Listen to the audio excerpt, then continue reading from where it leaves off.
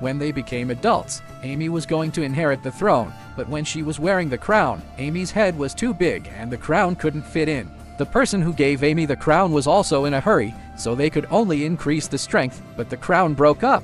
This made all the audience laugh. Amy felt humiliated and shouted to cut off their tongues. When the king heard this, he felt that Amy was too cruel, so he immediately announced that the throne would be passed on to Anna. Amy screamed and got so angry. She even released the dragon and burned the palace to ashes after Amy got the crown. She ran out to build her own kingdom. But Amy couldn't manage the kingdom well, so Anna wanted to fight Amy. There is only one person who can defeat Amy's dragon, and that is Alice who just came to this world and has never seen such a weird world. The flowers inside have human faces. The rabbits in suits, the mice with swords, and even the fat ones are in pairs. Not only that, they also arrested Alice and brought her to a psychedelic caterpillar, and finally let Alice watch God's domain.